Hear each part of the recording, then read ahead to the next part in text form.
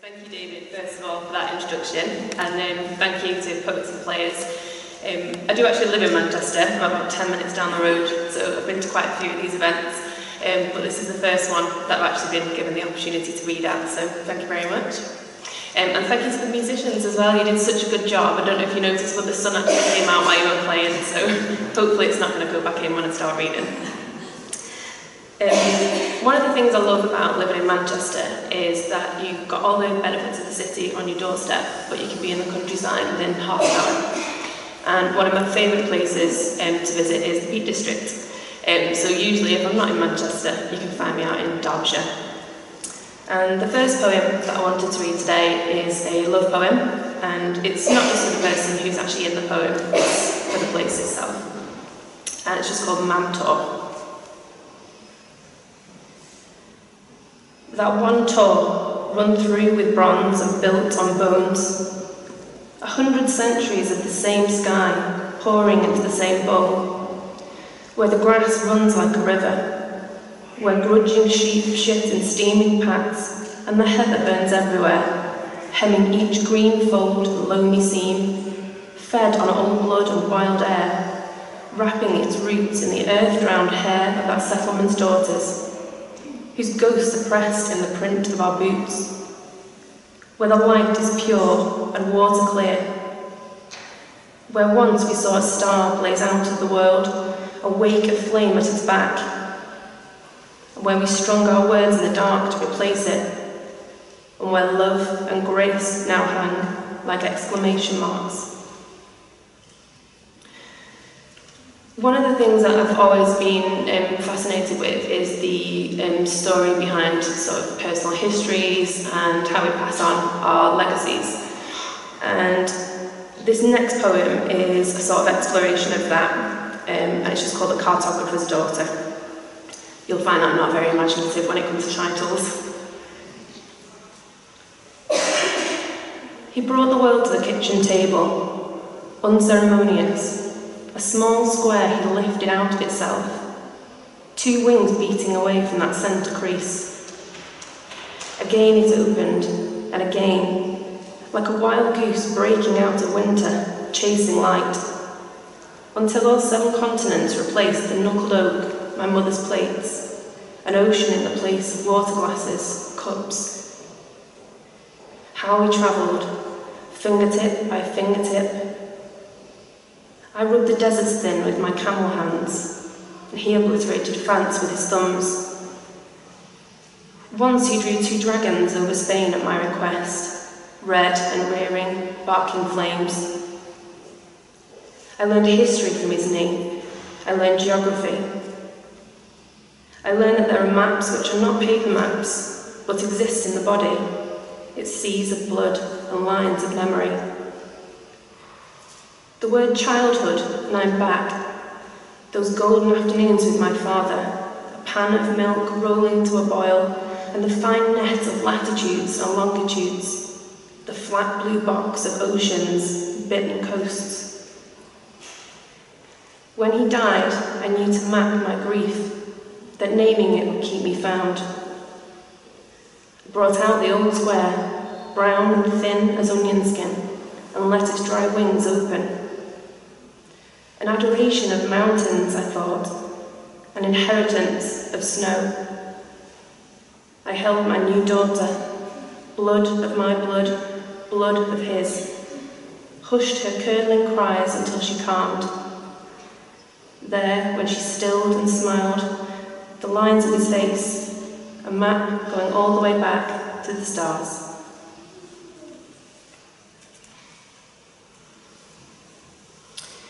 Um, I mentioned earlier that one of, the, one of the things I like the most is kind of exploring the stories about um, people, about places, um, the legacies of, of things.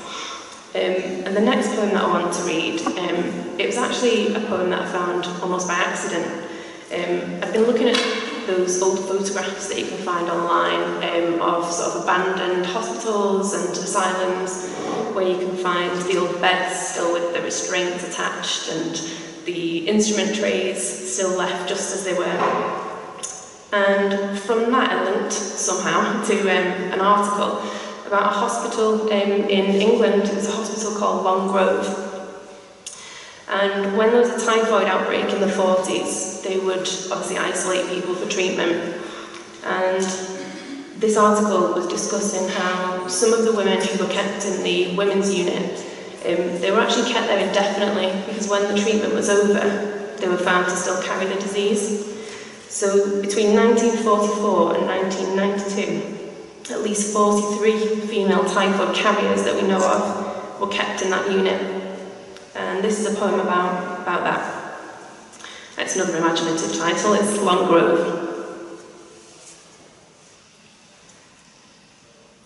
Imagine if you'd known in that first flush of fever time you'd endure in centimetres, the geological age between Christmases, how sick would become monochromatic, white, all white, except for the scratched brass and the green that rises when they say, make a fist, and the blue eyes above the white masks.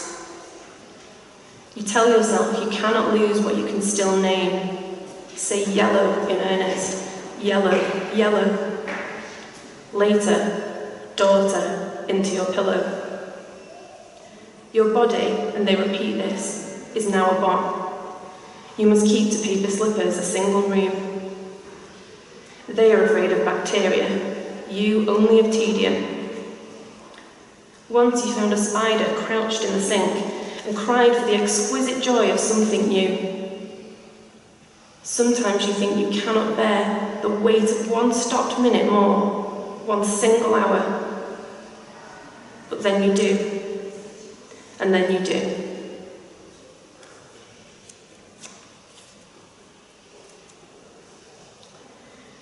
Um, the next poem is sort of a, a mishmash of two different stories. Um, I used to work for a utilities company, a water company, and I was fascinated when I went out on site with one of our engineers and found out that they still used the old-fashioned dowsing rods to find water. Um, and when I told this to my mum, um, she told me that my great-granddad was known for, amongst many other things, um, his ability as a water dowser. So the two things sort of came together and I spun a poem from that. So this one's called, funnily enough, The Water Dowser. Running through generations like a river, alongside the gene for red hair and the family name, this gift of summoning the earth's weather. Humming in the wrists is how it describes it. I picture his hands, like knuckles of ginger, thrumming with bees, tiny messages browsing his tributaries, raising the alarm in the hand-arm hinge. In the old days they called it witching the water, walked their switch of hazel, switch of willow, waiting for the dip and twitch that meant they struck gold. The clear running cold would follow. Years ago, a palmist on a seaside pier winnowed a future from the forks of my hands, and I believed in magic. Now I stand in a dry field watching a man draw water like doves from his sleeves. He tells me some people don't trust this, spits, then grins. I think of moons and salt lines in the sand, my blood going out, coming in.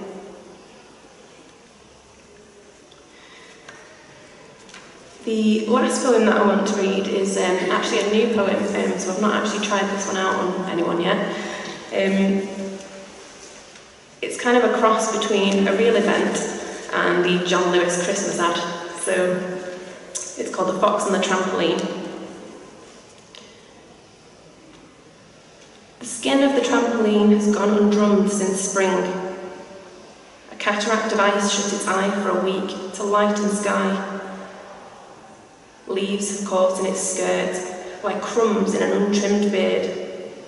And I saw, my husband said, and I agreed. But who'd sort it now before the weather warms, before the gold winged geese come back? Then tonight, as I read at the kitchen table, I see at the very edge of seeing a flicker curl in the black, like the first tongue of flame once the paper is caught.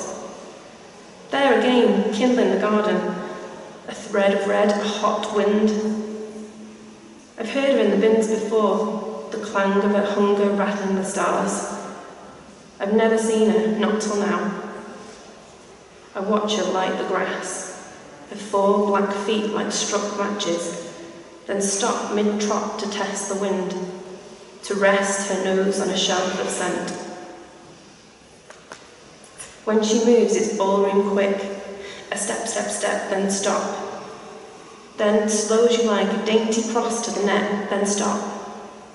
And the fine wedge of her head lifts and finds the moon, so her eyes spark like chipped flint, two long licks of molten gold. How long she stands, I couldn't say. The room with its clock has fallen away like a shrugged off jacket.